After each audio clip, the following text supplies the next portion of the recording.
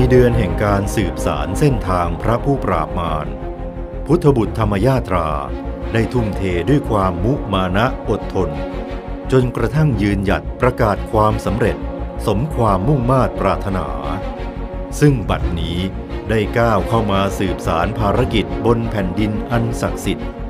สถานที่ตั้งมโนปณิธานบวชตลอดชีวิตของพระเดชพระคุณหลวงปู่ พระมงคลเทพบุณี สด จันทสโร พระผู้ปราบมาร อนุสรสถานคลองบางนางแท่น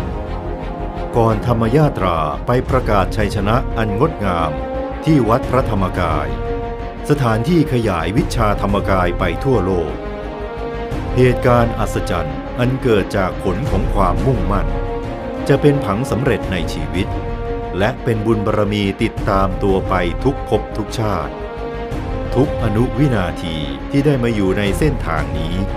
จึงทับทวีความปลื้มปีติและภาคภูมิใจ ที่ได้ประกาศให้ชาวโลกรับรู้เรื่องราวเกี่ยวกับวิชาธรรมกาย ซึ่งเป็นที่พึ่งที่ระลึกที่แท้จริงของชีวิต เป็นสรณะอันประเสริฐของชาวโลกทุกคน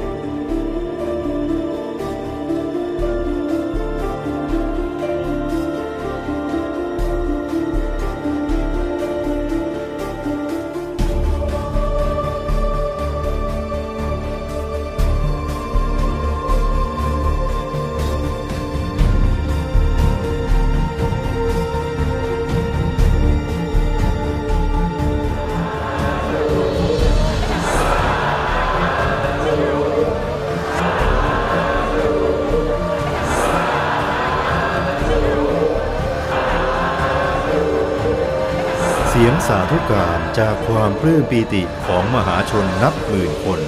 ดังกึกก้อง ประกาศให้โลกรับรู้ถึงชัยชนะ จากการสืบสารภารกิจธรรมยาตรา เส้นทางพระผู้ปราบมารปีที่ 6 ที่สำเร็จอย่างงดงามและมหัศจรรย์ ทั้งเบื้องต้น ท่ามกลางและเบื้องปลาย สมความมุ่งมั่นตั้งใจ ยังมหาปีติให้เกิดขึ้นทุกอนุวินาที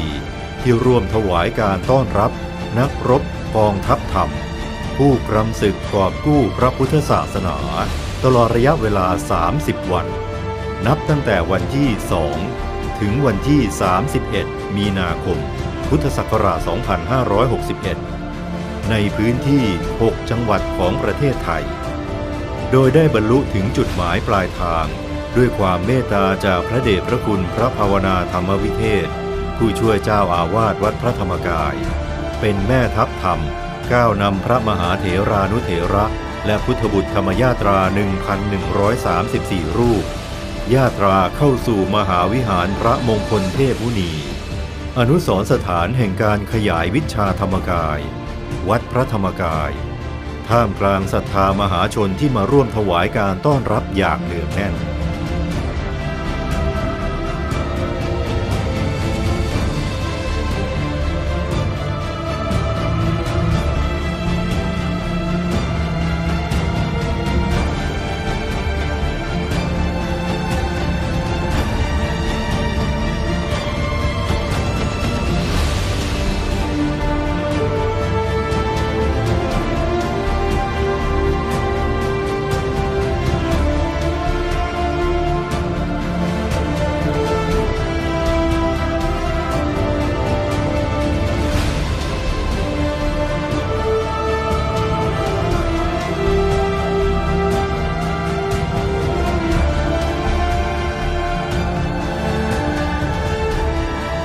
การมาครั้งนี้ของผมนะครับ เพื่อเป็นการจะเดินรอยนะครับ ตามหลวงปู่ เพื่อเป็นการตึกระลึกนึกถึงนะครับ คุณความดีที่หลวงปู่ค้นพบวิชาธรรมกายทำให้เรามีความรักความกตัญญูในพระพุทธศาสนานะครับ รู้สึกถึงถึงบุญมาก ๆ และโชคดีวันนี้ที่ได้มา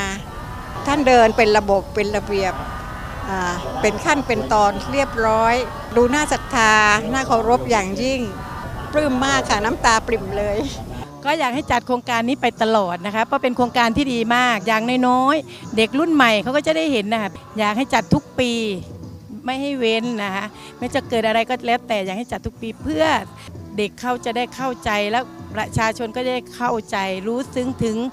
พระพุทธศาสนาของเราแก่นแท้ของพุทธศาสนานะคะ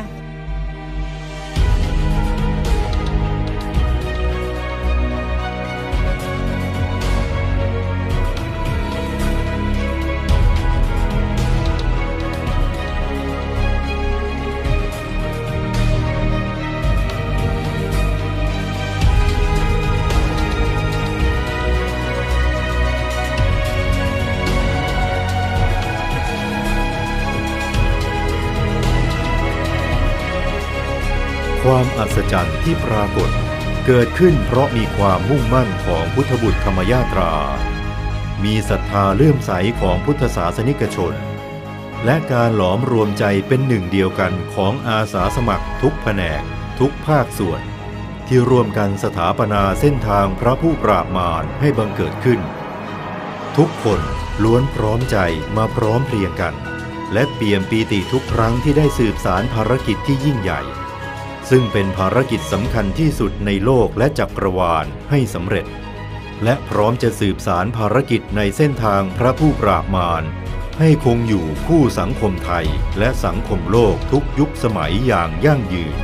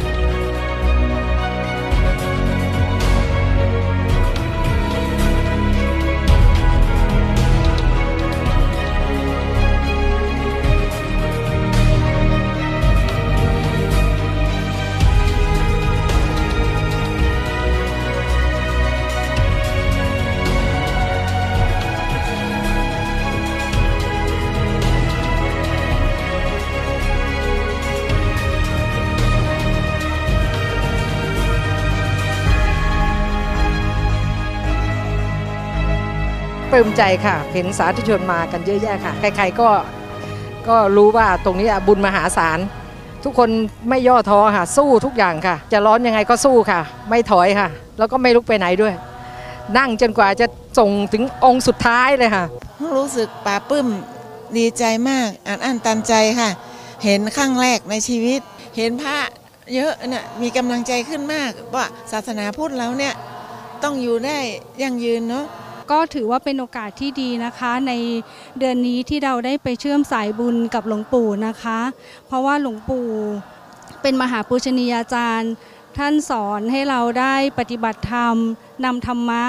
มาใช้ในการดำเนินชีวิต แล้วก็อยากจะให้จัดงานแบบนี้ทุกๆปีนะคะ เพราะว่าจะได้มีพระพุทธศาสนาที่เจริญแล้วก็มั่นคงให้ ชาวพุทธของเราได้มีพระพุทธศาสนาเป็นที่พึ่งนะคะ